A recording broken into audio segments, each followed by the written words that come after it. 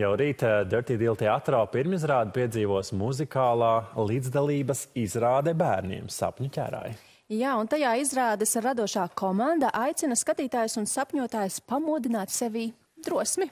Skan intriģējoši. Tādēļ šorīt mums uz interviju pievienoja šīs izrādes aktieri Elīze Dombrovska, Anna Klišāne un Jurģis Lūsis. Un bija paredzēts arī izrādes režisors Roberts Dauburs, kuram mēs sūtam uh, Veselības labu vēl. veselības vēl- vēlējumus. Labrīt. Labrīt. Labrīt. Labrīt. Prieks jūs satikt. Kā jums ar sapņiem šonakt bija?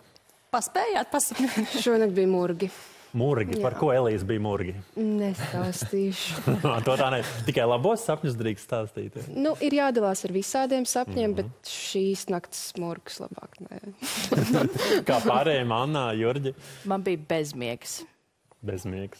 Tad pat taisno uz šejieni, ja? Pat bez- taisno šeit, ne acī aizvērdama. Es ar vecmāmu vācu salmus laukos. Sapņi ietvarā. Sapņos, jā. nu, ko? Jā, nu nedaudz noteikti jāieskicē, kurš no jums varētu uzņemties to līderu lomu, kurš tad var pastāstīt. Roberta vietā, jā. Jā, kurš, kur, kas tad, eh, kas ir šīs izrādes pamatā, par ko tā patiesībā ir?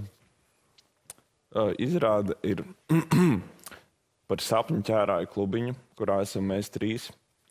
Un uh, tā ir vieta, kur cilvēki, mēs, visi pārējie sapņotāji, kas atnāks uz izrādi, var brīvi uh, stāstīt par saviem sapņiem, par piedzīvoto sapņos, un caur sapņiem arī kaut kā vairāk mēģināt izprast sevi un uh, to, ko šie sapņi varētu nozīmēt. Bet Kā jums pašiem tad ir? Biežāk ir tie labie, feinie, fantāziju pilnie sapņi vai netik murgi. labie sapņi? Murgi mēs dzirdējām, tādi arī mēdz būt. Ja? Pārsvarā man šķiet ir labie sapņi, bet tagad izrādes tapšanas procesā ir sliktie sapņi. Man personīgi. Pat šī tā pamainās. Jā. Jā. Tev ir diezgan ilgi tas bezmiegs moka. Jā. Bet tas nekas. Tas nekas. Par to izrādē arī runās. Par bezmiegu? Jā. Jā. Un Tad par par- apzināto sapņošanu. Visu kaut ko interesantu. Apzinātā sapņošana. Mm -hmm. nu, kas tā ir ieskicēta? Nu, Elīze mums var pastāstīt. Apzināta sapņošana ir tā, ka tu vari pats izdomāt, ko tu sapņos. Tu pirms gulētiešanas mm. padomā mazliet, ko tu vēlētos nosapņot. Mm, ja tu gan ilgi trenējies un esi tāds apzināts arī pa dzīvi, tad sapnī arī tu vari nosapņot to, ko tu vēlies. Tā Tātad- teikt, uzrakstīt scenāriju sev, ja? Bet tātad tu pirms iešanas gulēt šonakt nebija to scenāriju tā kā uzrakstījis sev. Ja? Es centos, bet man nesanāca. Jā, nē. Bet es saprotu, ka izrādē arī mācīs par to, kā pamosties no tāda slikta sapņa. Jā, ir pāris receptes, mēs mēģināsim iedot. Var atklāt kaut, kaut vienu. Nu, jānāk skatīties. Tā ir viena recepte. Otra recepte. O, Iekniept sev var, var skaitīt pirkstus. Mm. Un tad jau pārējo mēs pastāstīsim izrādē. Slikti sapņi jau paši pārsvarā pamodina. un pēc tam tad ir jātiek ar to galā. Jā, tas, ko mēs izrād, veidojot izrādi, ļoti centāmies paši sev pierādīt uh, sarunu ceļā, ka ir diezgan uh, nepieciešams runāt par saviem sapņiem, jo tādējādi mēs iepazīstam sevi, iepazīstam viens otru, un tas ir svarīgi. Bieži ir tā, ka tu pamosies un tu jau vairs neatceries. Jā, Tur ļoti ātri laikam tad ir jāpiefiksē tās un tad arī jārunā. Ja? Kā, Jā bet tur arī ir visādas metodas. Ja, tu, ja tu vairāk sāksi pierakstīt uh, katru nakti, katru rītu, kaut vai kaut kādu detaļu, ar katru nākamo rītu tu atcerēsies ar vien vairāk un vairāk. Kā tev Danut ar tiem sliktiem sapņiem? Man, š- man šķiet, ka mēs netiekam. Mēs nepaspējam, man liekas, Mums tas monētais dzins, dzins, skan diezgan agri. Pārāk ātri, jā, mēs līdz tam piektajam sapnītim pat vēl neesam tikuši. Bet, Klau, mēs vēl arī pieteikumā teicām, ka jūs eh, mācīsiet pamodināt drosmi. Es pareizi sapratu, ka, kā tas notiek un kādēļ tas tiek vēl iepīts šajā sapņu pasaulē. Mēs aicinām bērnus piedalīties arī mūsu sapņos šajā izrādē, kuros mums būs nepieciešama palīdzība no bērniem un arī pieaugušajiem, protams.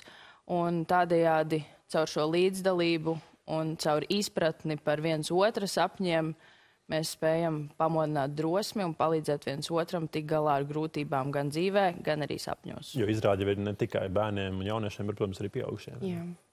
Nu, ko pirmizrāde rītvakar, pēc tam izrādes 30. decembrī, 13. un 14. janvārī. Un ko esat sagatavojuši šajā rītā nesen pamodinātiem skatītājiem? Dziesmu, ar ko mēs atklājam izrādi, ar nosaukumu Katra miega nakts kā maza nāvīte. Wow! Nu, lai skan intro izrādē, tā teikt, ja? Jā. Lūdzu, lai skan.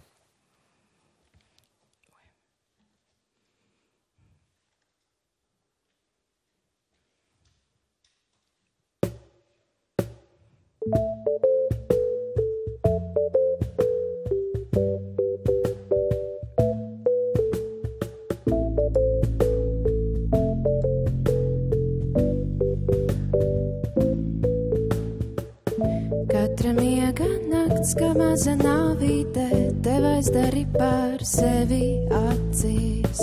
Katra miega nakts, kā maza nāvīte, tev aizdari par sevi acīs.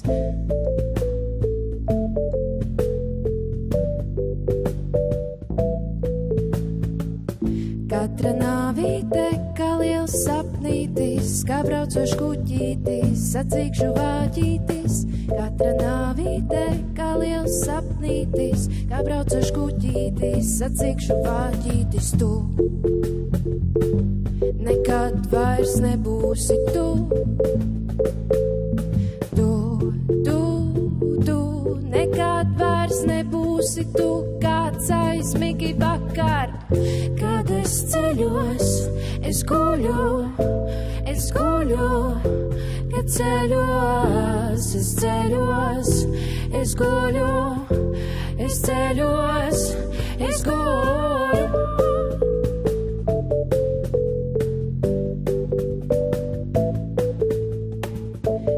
Sapnītis, kā maza dzīvīte, smilšu kastītē, tu vadi garu laiku. Katrs sapnītis, kā maza dzīvīte, smilšu kastītē, tu vadi garu laiku.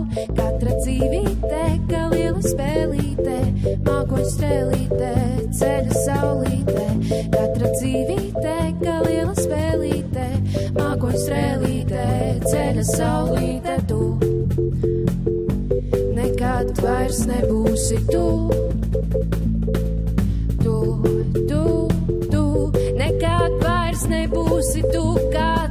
kāds aizmīgi vakar, kad es ceļos, es guļu, es guļu, kad ceļos, es ceļos, es guļu, es guļu, es ceļos.